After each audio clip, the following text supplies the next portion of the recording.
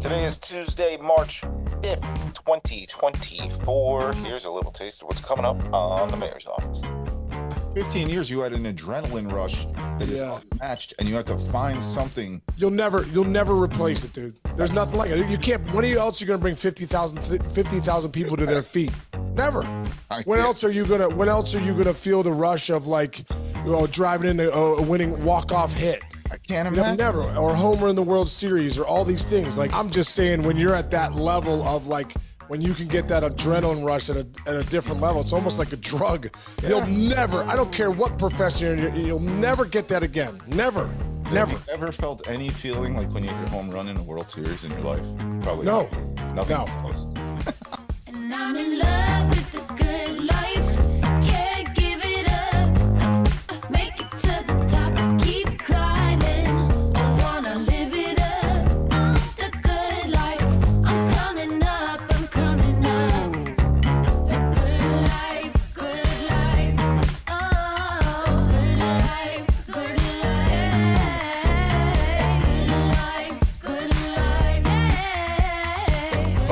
Coming in hot, Chichi. What's going on, brother?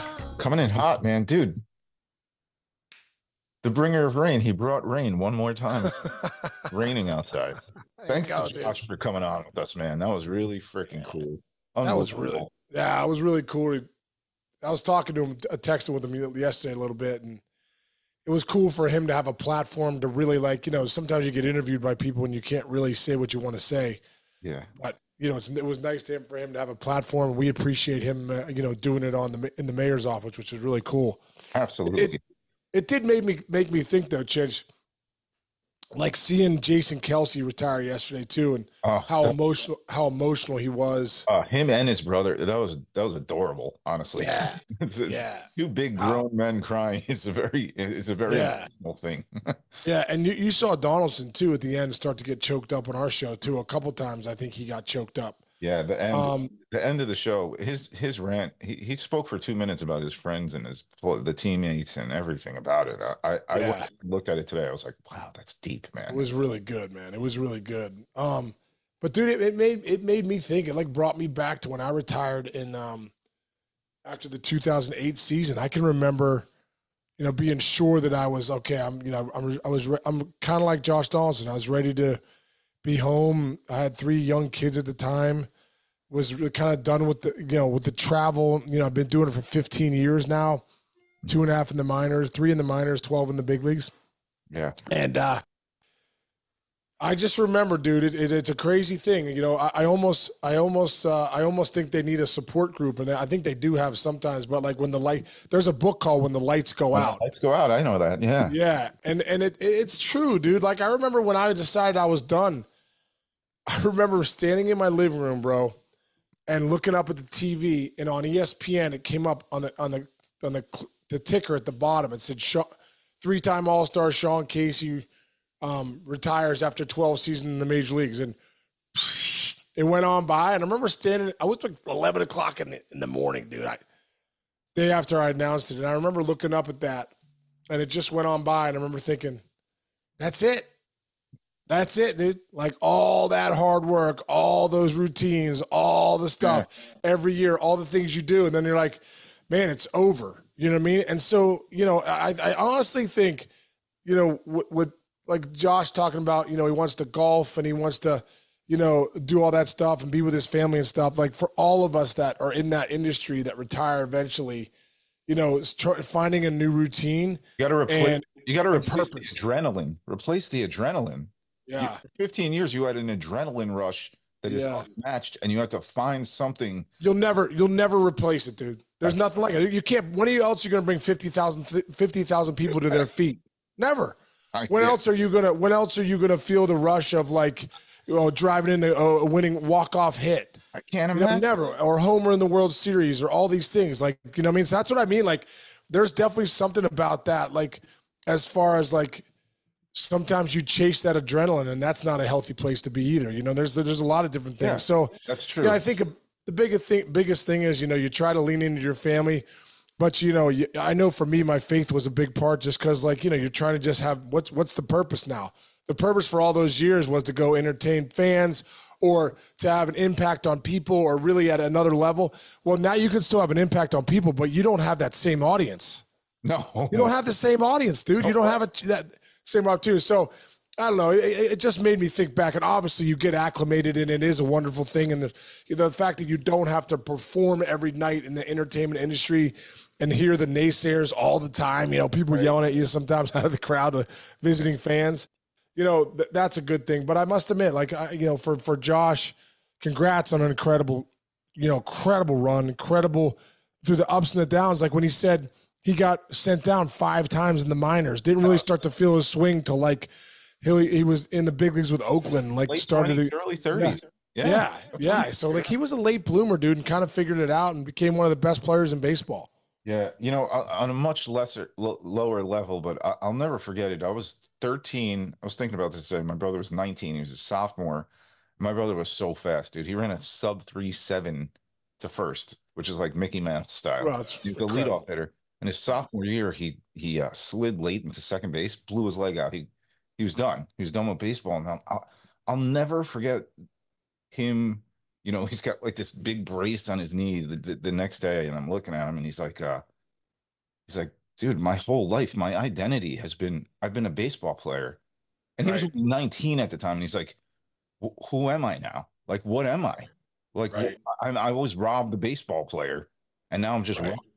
And and to your point, like uh, that affected me. And then when I graduated college, I'll never forget my last at bat. My whole team stood and clapped the entire at bat, and all I was trying to do was not cry because I knew I wasn't playing in the big leagues, and I was like, holy crap!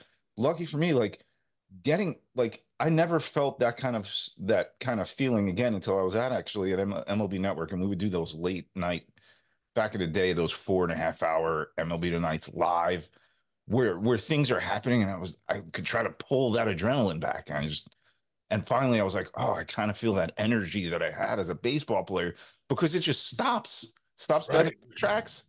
And now you're like, you're standing, you got 15 bats in your house. You're probably walking around your house with a bat, like I do. years. I actually do oh, You sometimes. You still do now. Yeah.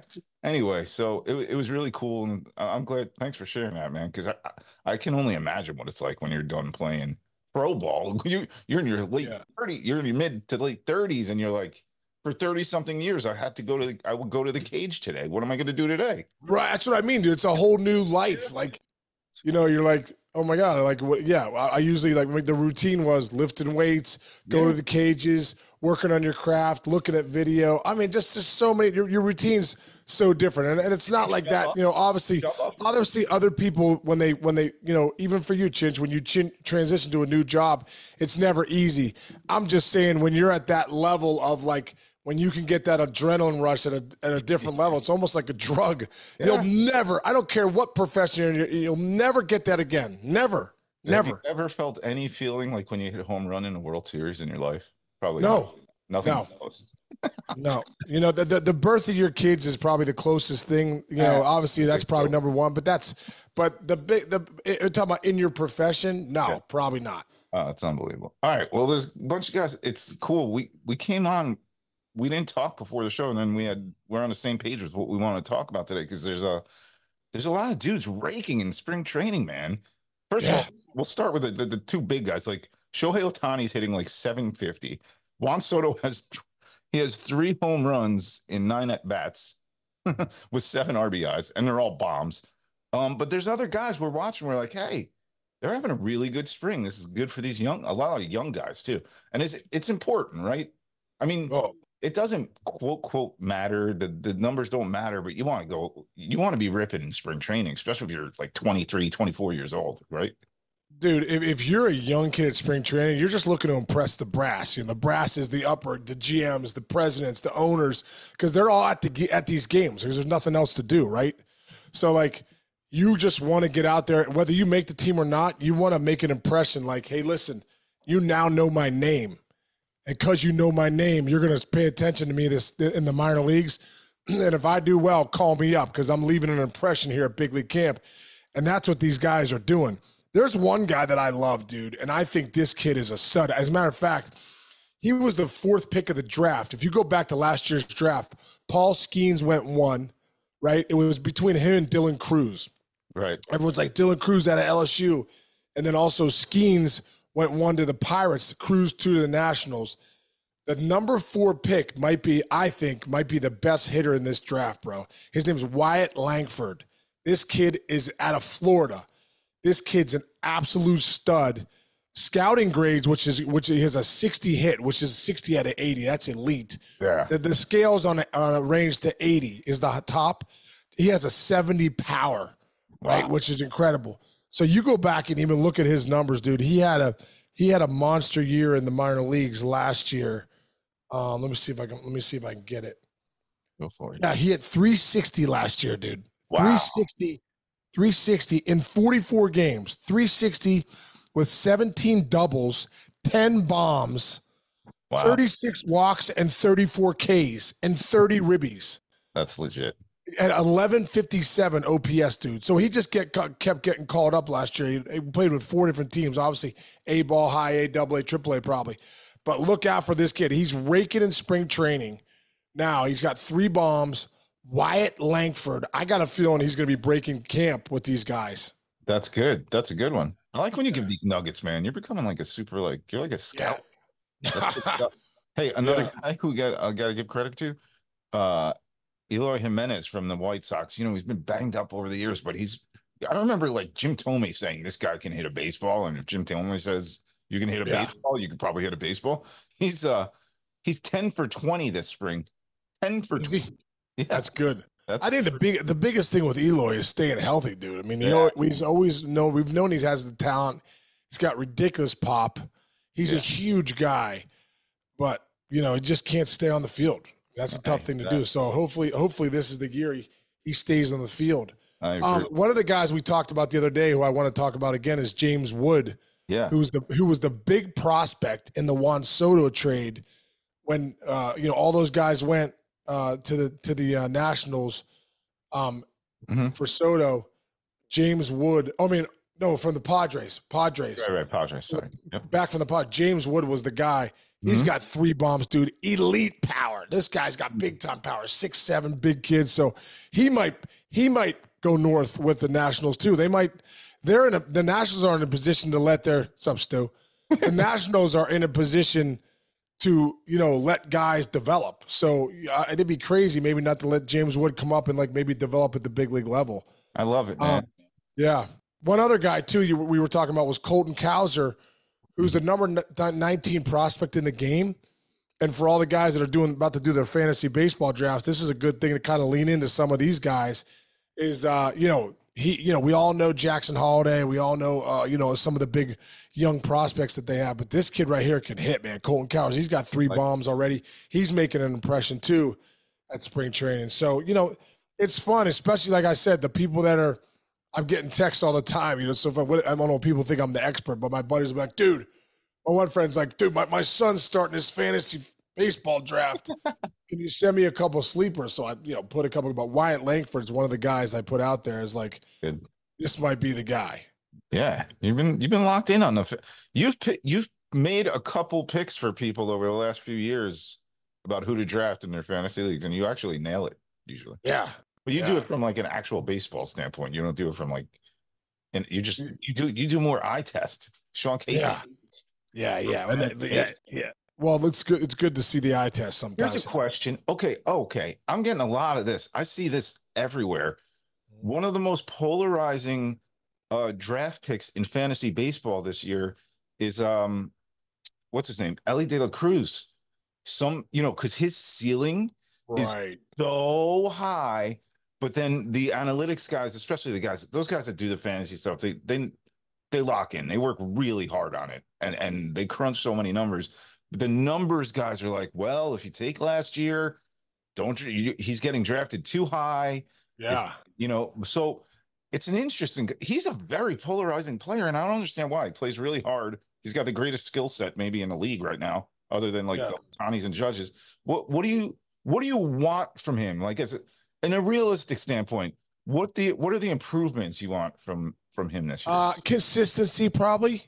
I think you know he started off so hot, kind of really fell off a cliff at some point. You know what I mean? Mhm. Guy's got all the talent in the world, dude. I mean, the one guy that I really believe that could rival Acuna for 40 70 is De La Cruz. Good point. You know what I mean? Like there's not a lot of guys in the league that have that kind of power speed combo that he has. So, um, you know, I, I really believe when when I look at De La Cruz, man, he is a legit five tool guy, has a can of an arm, you know, is the fastest guy in the big leagues. I mean, he flies. Yeah. I mean, elite, elite, Yeah, like elite Deion speed. Sanders style speed. Speed. Yeah, like Deion Sanders, like Us- Usain Bolt speed, if he could if he could hit. But you know, uh, I think people are excited about him because of his tools. But I look at Oneil Cruz too with the Pirates. Everyone's so excited about his tools, how hard he can throw, and then you know he really hasn't got off the ground yet. As far as like the biggest thing with it being in the big leagues, dude, is being consistent. And how do you be consistent? It's mental. So when you struggle, can you bring it back quicker than just letting yourself continue to struggle? You know, that's the biggest thing. So like when I look at young guys with great talent that are like kind of up and down, like really the lows are low and the highs are higher, you want to get to the point in your process in the big leagues where your where your highs are high and your and your and your lows are higher. You know what I mm. mean? They're they're higher than they used to be, right? You know what I mean? That's that's where you want to get to. So you have to learn to ride the emotional wave in the big leagues, dude. Yeah. You can't let your your lows be too low, and when you're high, you got to continue to lock in on what you're doing well. What am I doing well right now? I used to write it down. I used to write down, man, I'm locked in right now. Like, what am I doing well? Because what happens is when you're locked in, you don't realize what you're doing well, and you start to hit. You think you can hit everything. You start swinging at everything. Next thing you know, you're struggling. You're like, how did I get here? Well, you forgot what you were doing well you you you you started to think you could hit everything. You expanded the zone, and next thing you know, you're swinging and misses, missing up pitches. You're putting balls in play weekly. So there's an art form to the mental side of the game, dude. Like I can't stand, you know, I can't stand when people are like, "Hey, the game's ninety percent mental." Hey, how how much do you work on your mental game? Zero. Like it makes no freaking sense right? How how often are in the cages? All the time. Take all the. I'm in the weight room all the time. Take all these grounders, but I suck in the game. Why do you suck in the game? Because mentally you're not working on your game. You're not working on your craft. You're not reading books you need to. You're not meditating. You're not slowing the game down. You're not breathing right. You're not living in the moment. You have no awareness of what you're doing. So like, for me, guys with our talent, young players. At the end of the day, you can't teach experience. So you're either going to learn the hard way of of getting punched in the mouth, or you're going to learn from maybe some of the veteran guys, or ask the right questions of guys of how you could speed your process along. Well put, man. That was a good one. That was a good one too. Yeah. So, Yeah. you think, so you think uh, Elly is the fastest guy in baseball? Who's you said the fastest guy you ever saw was Deion? Deion was the fast guy. And, hey, dude, you know who else? Jacoby Ellsbury. Jacoby Ellsbury. I, in 2008, I was with Jacoby Ellsbury when he first came up, and I was like, wow. Like, there's certain guys in, in your in in the game that you're like, I want to see him hit a gapper because I, I want to see him run. Yes, because it's I- I beautiful. you're. It's I beautiful. Like Jacoby Ellsbury, dude, back in when I was with him in 08, when he would hit the ball in the gap, I was like, oh man, it was it was like hitting big watching Big Papi Homer.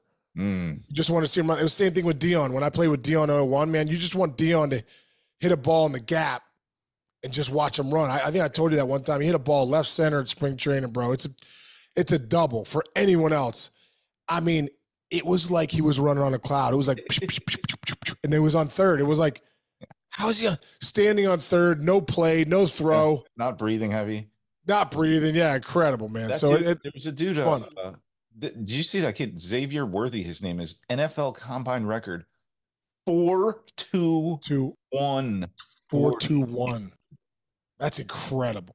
That's like that's like he, he should be running in a that's Olympic level. Yeah, that is that's- That's What ridiculous. What would your four- 40 time be right now before we go? right now, five eight. That's not too Probably. bad. That's not. I probably. I probably. I'd be in the five. Yeah, I could, dude. I still. I still run sprints on my walks in the morning, trying to keep. Hey, use it or lose it. Byrnes is use it. Eric Byrnes, use it or lose it. You know what I mean? So I, I still try to. They say they say ninety five percent of people at the eight, after the age of thirty five will never sprint again. I I don't see a point to it. I always go back. My dad, every time we drive past somebody jogging, he goes, You ever see a jogger smiling? I'm like, actually, you never do. You never see somebody like, oh, this is great. They're always like, oh, this oh. hurts. This hurts. oh, your camera died. So I think Camera died. Go. Oh, there you are. Oh, there. Oh, us. Oh my. Well, I'm back. He's back. All right. Goodbye. all, right, all right, brother. Time. That means it's time to roll. Yeah, man. All right. Hey, Have a I great just want to say thanks for everybody for listening. Thanks for listening yesterday to Josh Donaldson. It was a great episode, and you know, and uh, the more we the more we get that stuff out there, the more we grow. So keep subscribing, download it to us. If you're having a good time and you're liking us, pass us on. And Chinchy man, love you, buddy. Have a great rest of the day. I'll catch you later, man.